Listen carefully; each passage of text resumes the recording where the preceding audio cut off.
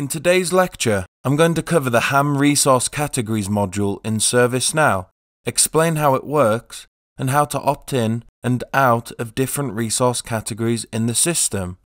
By the end of this lecture, you'll understand what HAM resource categories are and how to opt in and out of them. Before we go into the system, I want to explain what HAM resource categories are. HAM resource categories are used for opting in to specific hardware models and assets into the Hardware Asset Management Professional Licensable application from ServiceNow. You can opt into specific resource categories and choose to not opt in to others. HAM resource categories are used to dictate what hardware models will be normalized by the normalization job that is run. For example, if you are opted into the servers resource category and not the end user computers category, then your hardware models that are using any of the server model categories would get normalized, and all of your hardware models that are using the computer model category would not get normalized. This module is also used for calculating your licensing costs for HAM Pro. Above, you can see all of the different resource categories for HAM in ServiceNow, and all of their related model categories. Now that we've covered what HAM resource categories are, let's go into the system and opt into them.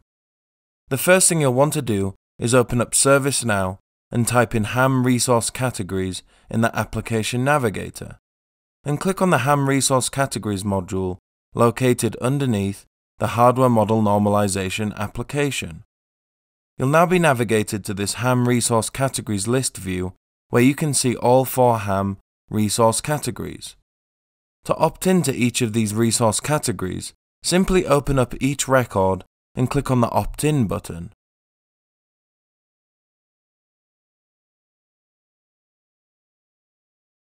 Now after going through all of the HAM resource categories, you're now fully opted into hardware model normalization for all eligible hardware models.